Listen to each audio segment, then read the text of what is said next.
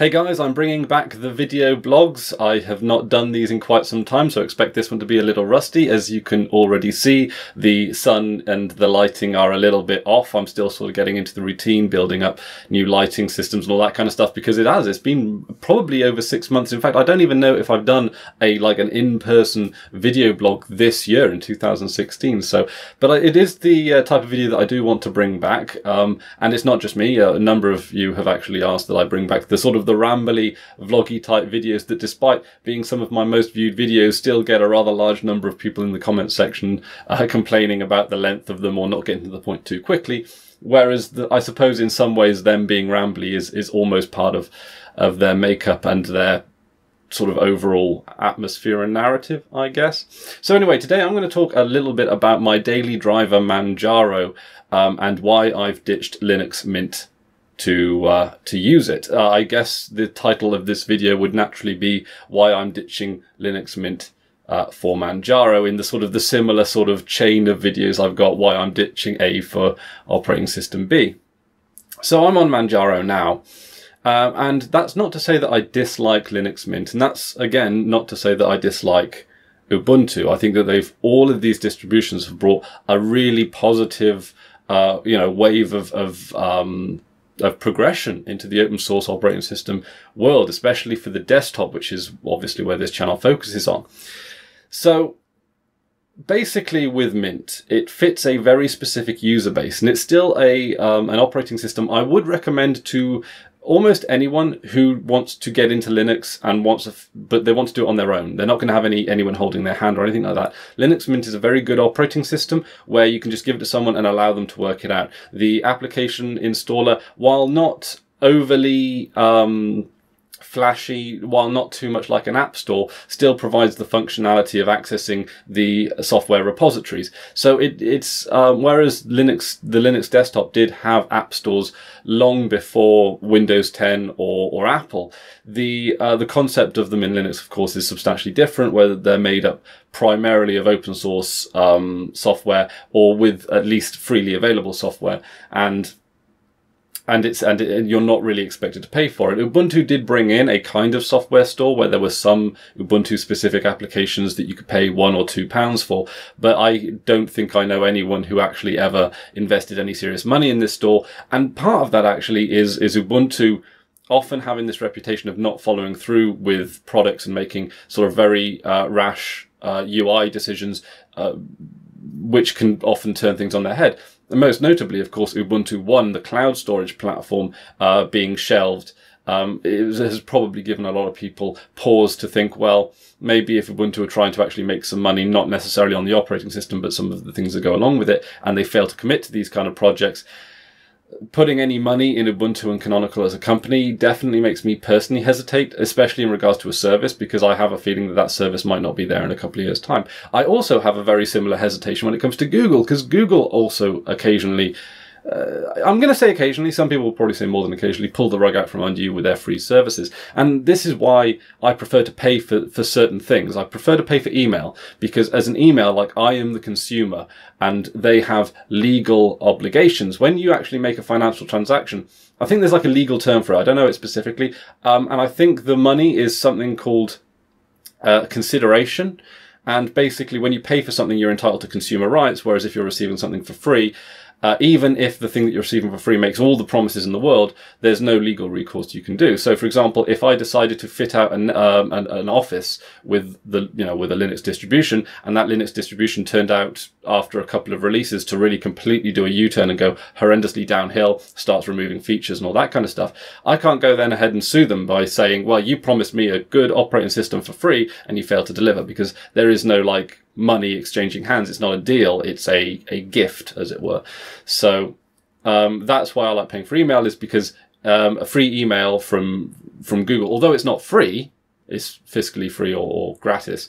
Um, they can still basically root through your emails, uh, take any liberties they want. Whereas with my paid for email service, um, basically, they have to lay out, well, we won't disclose any of your information, um, and th- you know all of this is legally binding. Obviously, there are like legal ramifications. For example, if um, a law enforcement uh, within the country of operation approaches them with a warrant, they obviously have to step aside.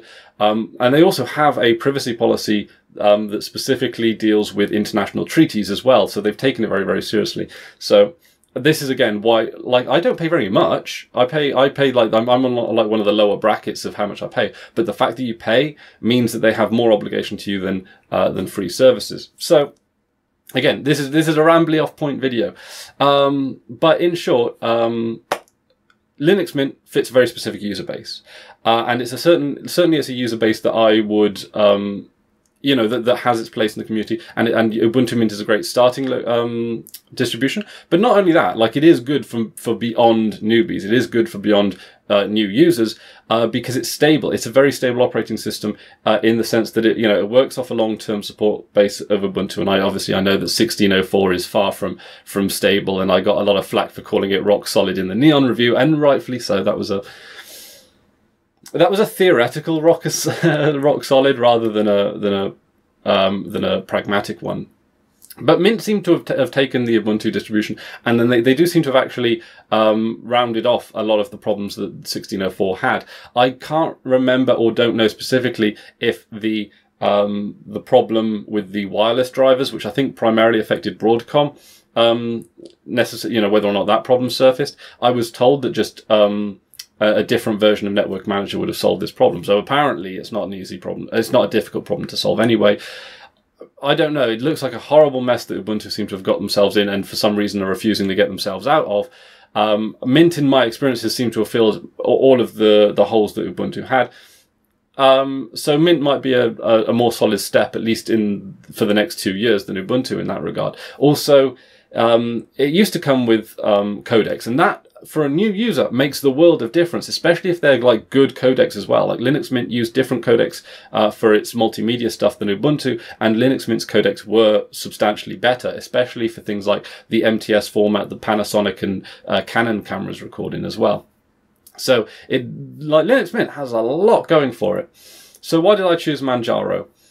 Well, Manjaro is based on Arch. It's a rolling distribution. So whereas with Linux Mint and Ubuntu, every six months they'll bring out a, a release or a or a, um, a, a, sort of incremental release, which um, which updates all the software all at once. Now there are security updates uh, and and sort of incremental updates in between those six month big schedule releases, um, or sometimes if you're using long term support releases or you're only updating major versions of Linux Mint, that's really every two to five years, I guess, really.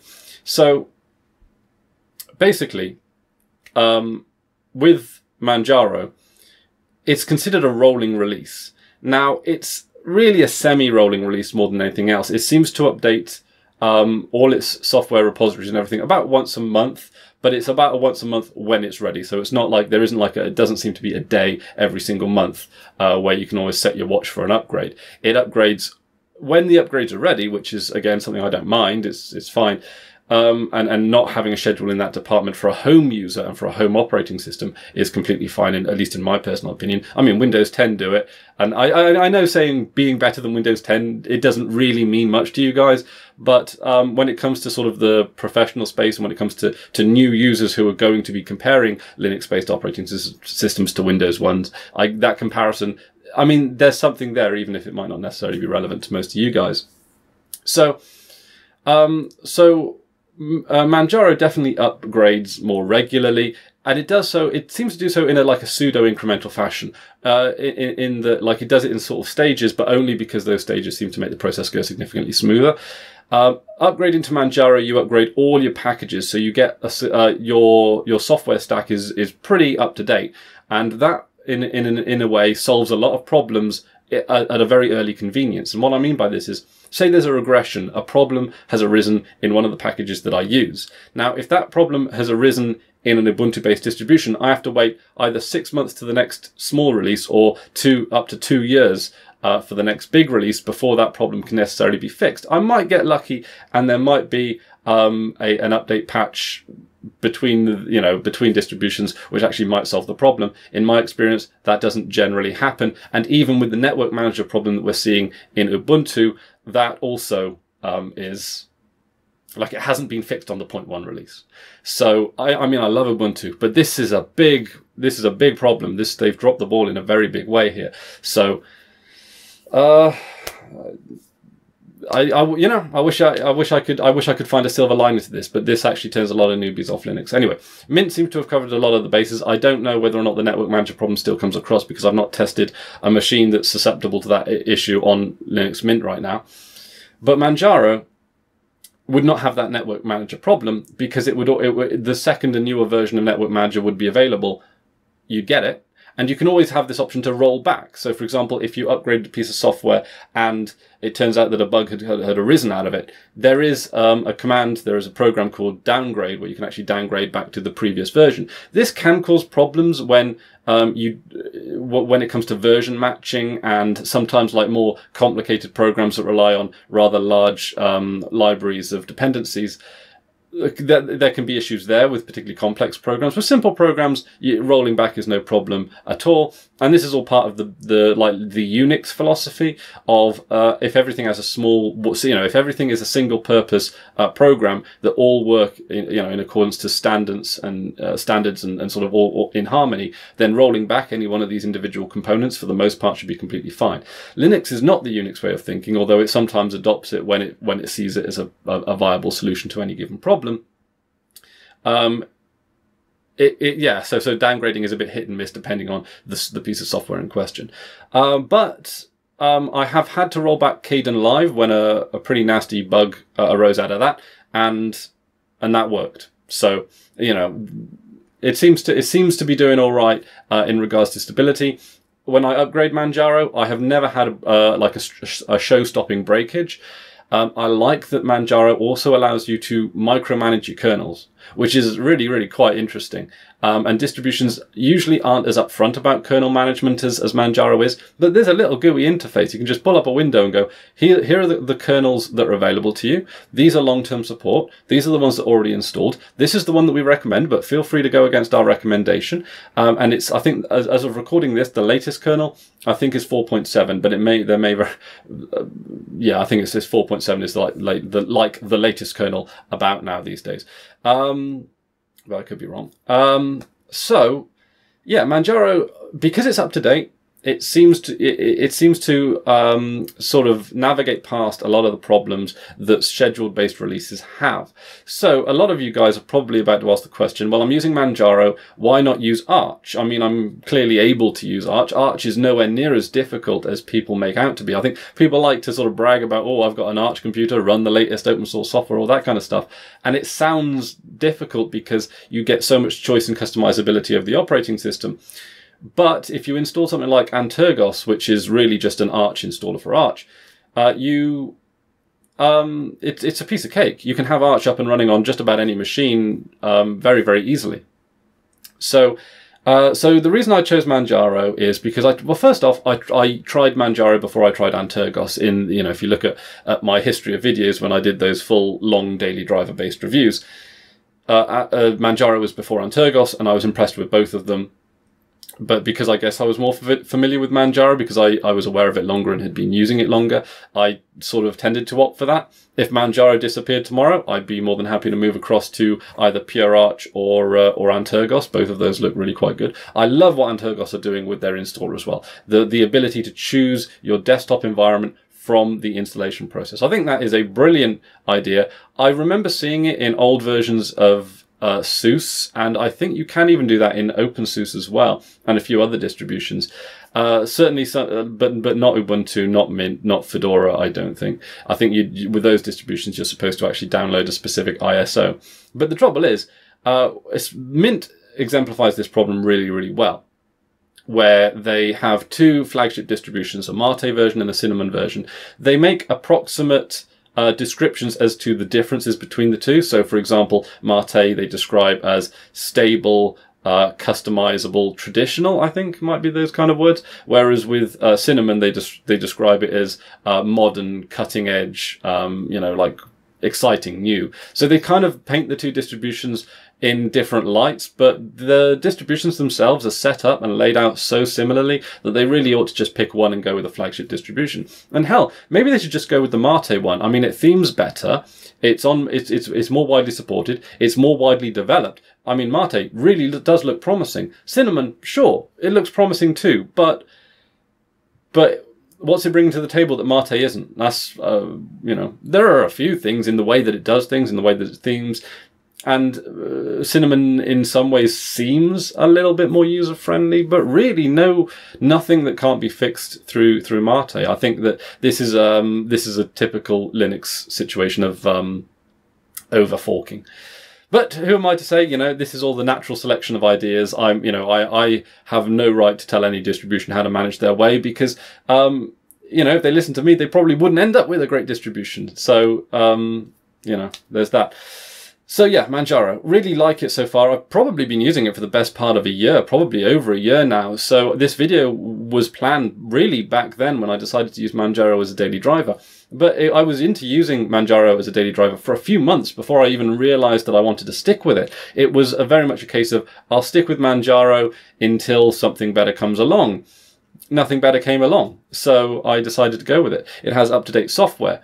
Uh, it actually tests its software a little bit more than, than Arch. I think it holds uh, all its software upgrades back for, for a couple of weeks, um, hence why it seems to have that incremental stage of, of um, upgrades. Um, and it holds back, uh, and um, I say it upgrades about once a month, maybe about once a month when it's slow. Sometimes it's a bit more regularly.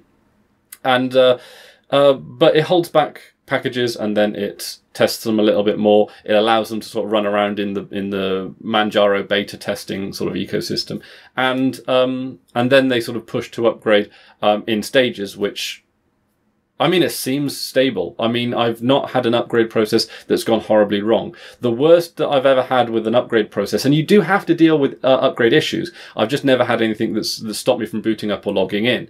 Um, upgrade process, um, upgrade um, problems can include things like um, the big one was when GNOME updated to 3.20, they completely changed how they did the GTK themes, and that meant that I had to find a theme that had been updated almost in tandem with GNOME, which meant that lot of GTK themes suddenly became unusable. Now, that was not a problem of Manjaro, that was a problem of GNOME, but because GNOME um, basically uh, focus around um, I think they focus more around Fedora, but they also, you know, because they seem to work mostly with scheduled um, distributions, uh, that the repositories can kind of match the version of GNOME in question, whereas rolling distributions basically have to have the awareness to be able to adapt and and look at the forums and look at the re- release notes as well.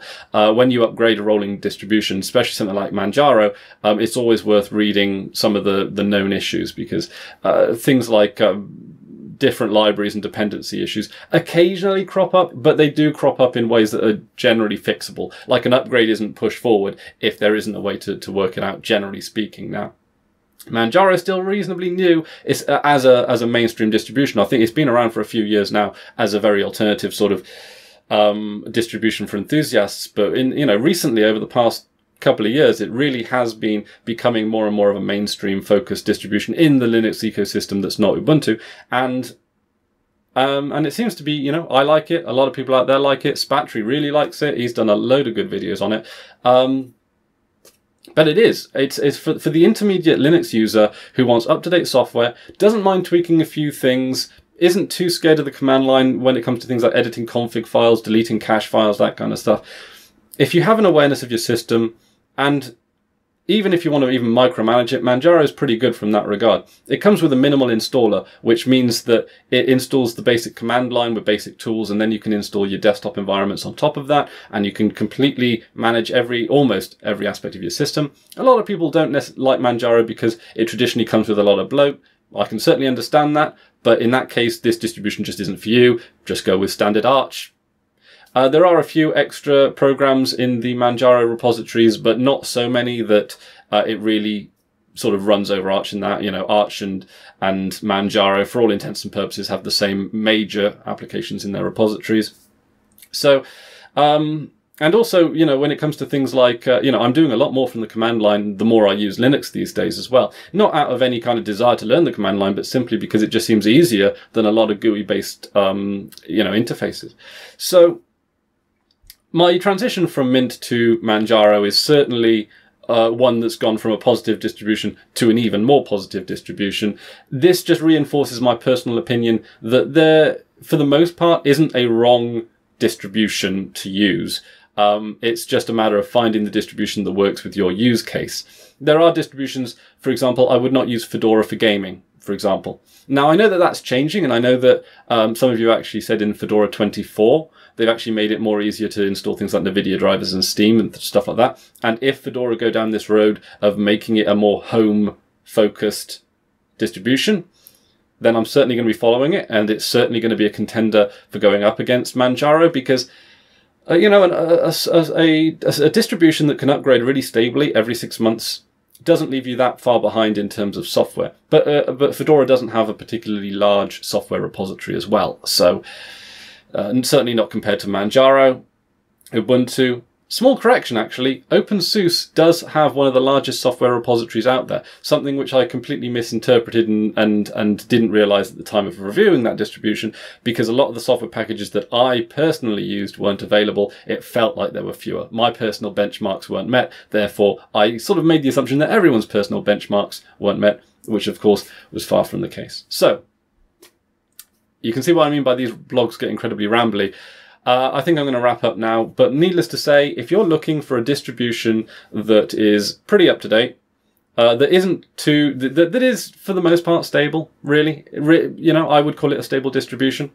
Um, the, the, community is great uh, as well. Actually, that's something I completely forgot to mention. And is something that's a really big part of me choosing a Linux distribution as well. For example, uh, I liked the Linux. When a commu- communities can get too big to the point where they become very clinical and functional and pragmatic, and that can often it often feels like the the the, the distribution at that point has lost its heart when it comes to the support system becoming so formalized.